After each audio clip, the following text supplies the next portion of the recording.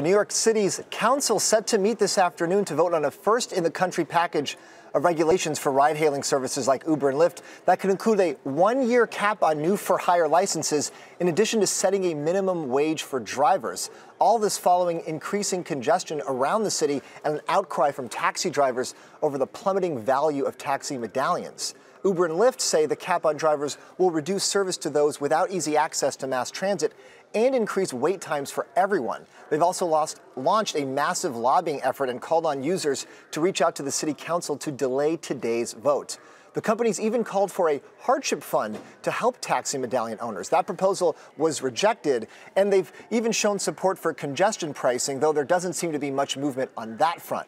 Similar legislation was proposed three years ago at the city council level, but that failed. But today it does seem more likely to actually pass. Given Uber's regulatory, regulatory run ins in Bulgaria, Italy, France, and the UK, today's vote is surely to be watched around the world and, of course, in those pre IPO markets for the valuation of this company. Back to you guys.